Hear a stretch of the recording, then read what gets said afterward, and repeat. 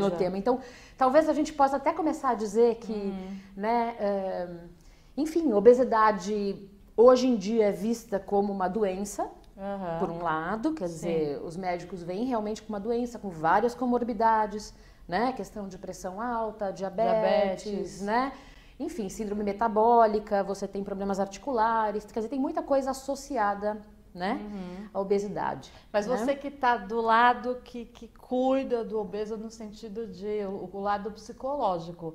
Tá. Por que, que ele chega à obesidade? Né? Quer dizer, tá. quais os fatores emocionais Isso. ou sempre tem um fator genético? Hum, Não necessariamente. Olha, eu acho que em grande parte tem fator genético, sim.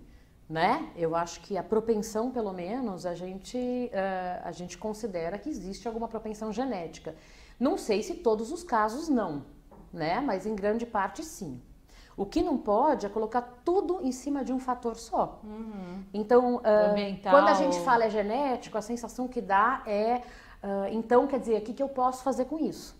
Sim, exatamente. Né? Que essa é uma grande questão hoje em dia, porque a gente tem consciência de que a gente vive numa sociedade que dificulta demais e até, vamos dizer, promove Exatamente. fatores, quer dizer, que desencadeiam a obesidade.